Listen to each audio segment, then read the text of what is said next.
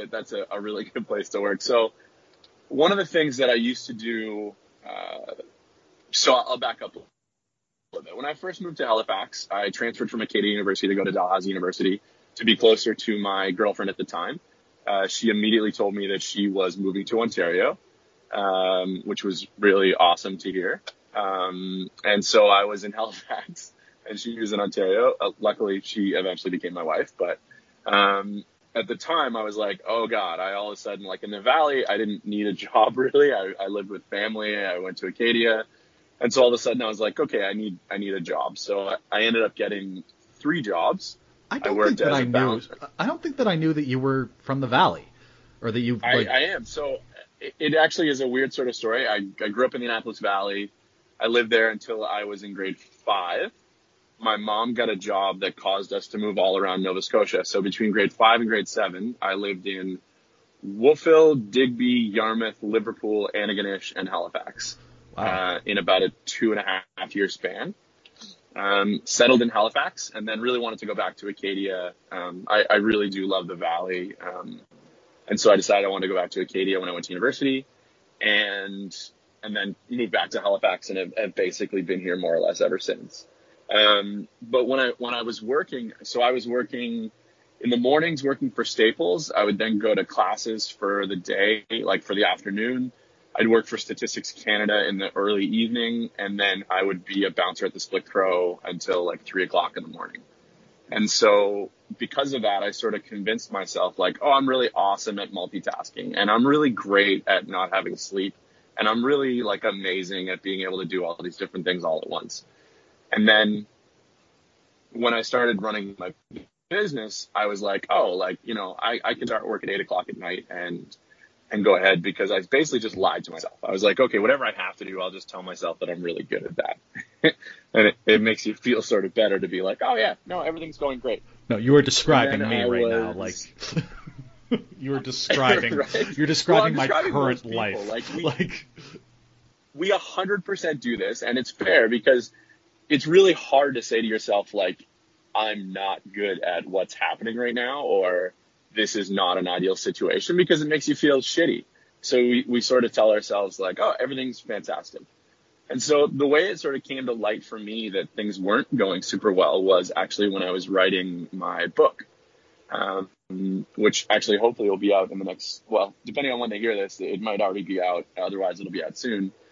But when I was writing my book, which was a book about time management, productivity, goal setting, etc., I was tracking how how how much I could write at any given time. And so what I found was that my words per hour from like 7 p.m. to 8 p.m. was like 2,000 words per hour.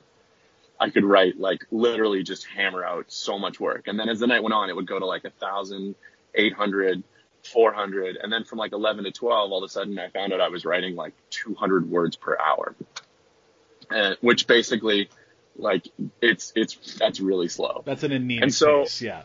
It, it is it is just like, and there were times where I would like wake up and be like, oh, I've just been holding down the R key for you know a paragraph, and I have to go back and kind of do it because you're just passing out.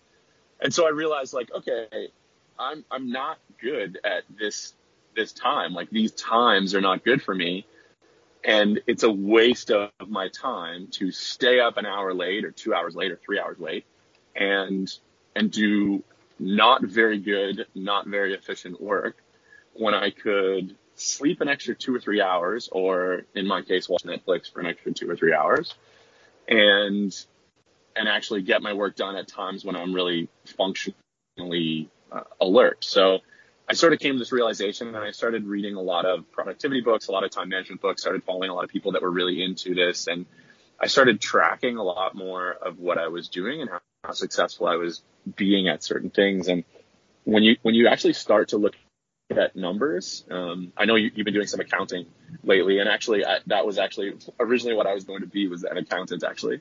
Um, that's what I was, that's what I was originally going to university to do. And I, I really love numbers because you can make them do lots of things, but in the end, if you read them correctly, there is a right answer. Yeah. Um, and that's what I found from from tracking my life is okay, well, I can say this and I can say that, but when I really sit down and I go, you're only getting five and a half hours sleep and you're only working this many hours and the pace that you're working at is only this, then you start to realize that things have to have to change in some way. And so that's been sort of my real focus over the last little while is trying to be super productive. Um, I've been there's an app that I use called Blinkist. So like Blink and then IST. And it's an app that actually provides you uh, condensed audiobooks um, where you're basically listening to the main points of audiobooks. Oh yeah, I think I so, heard like, about that on um, on Pod Save America or, or you know one of the Crooked Media shows. Yeah, it's amazing. Like yesterday, I literally listened to ten books on time management in a two and a half hour span. Um, and it's all really actionable. Like it's not just sort of a review. It's like, okay, here's exactly what you need to do based on these things. And one of the ones that I, that I recently listened to was about the 80-20 rule, which is the idea that 20% of what you do is responsible for 80% of the actual net gains.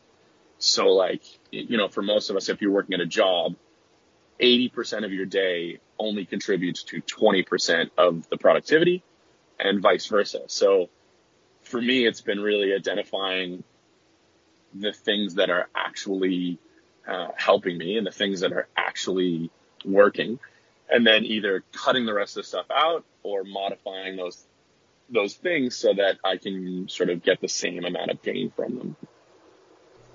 Nice. If that makes sense. Yeah, no, absolutely. Um, like the thing that I really love about listening to your show is like, I mean, first of all, you're my friend, and I like hearing you.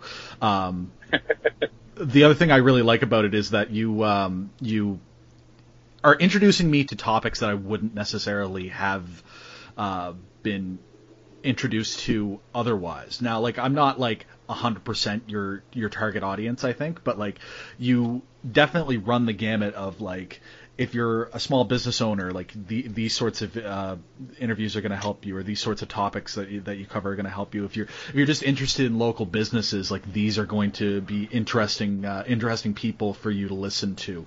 Um, and then like it's just it's a nice sort of slice of, of all these sorts of things, and like um uh, like that in particular, and that's why I brought it up with you. The the the idea that you know you kind of just have to embrace the fact that you know sometimes you suck at things.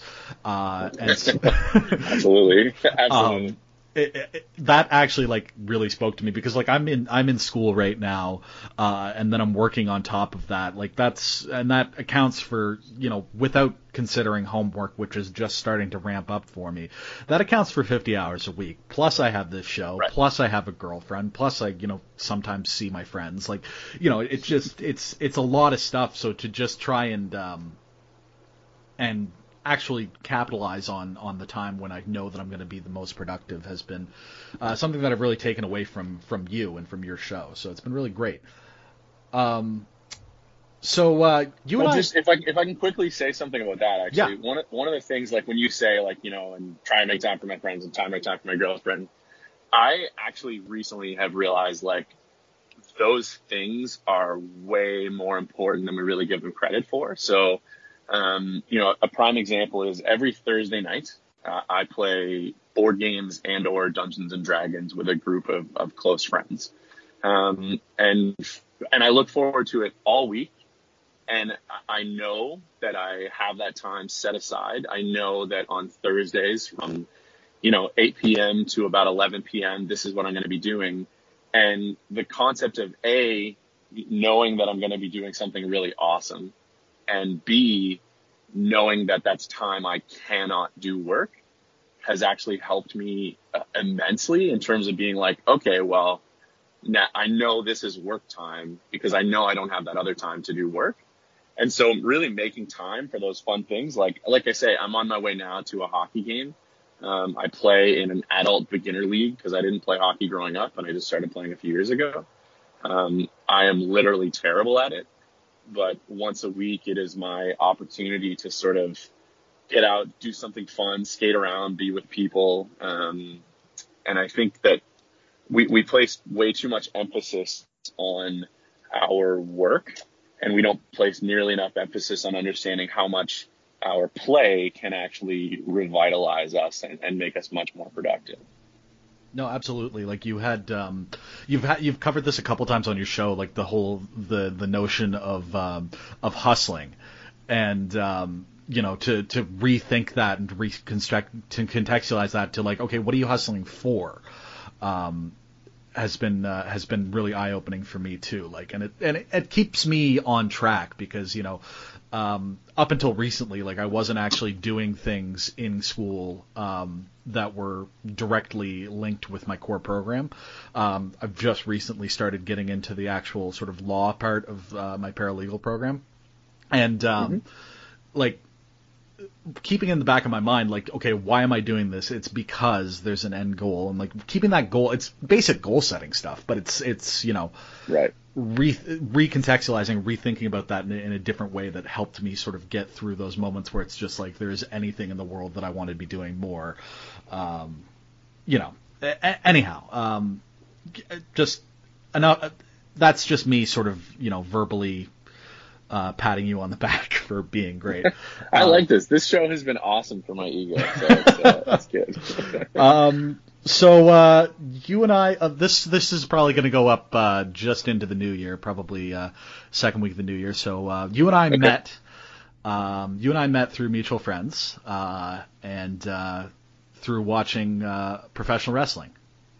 That is correct. Yeah. Um, you're actually one of the few people that I've had over to the apartment to watch professional wrestling with. It was me, you, and and Sean McCabe and watching. Sean? Yeah, yeah. watching Mania a couple years ago, I guess it was now. Yeah. Um, so uh, with uh, with the with that in mind, we're uh, we're coming up to WrestleMania season. Um, yeah. We're coming up to my favorite, personally my favorite pay per view of the year, the Royal Rumble. I don't know how much you're watching these days. I don't know how up on it you are. I know that I pretty much only watch the pay per views and kind of keep a, keep an eye on what's going on elsewise. What uh, what are you seeing for the Rumble? Who do you think who do you think's got it? I honestly, I, to be totally honest, I really only watch wrestling with you guys.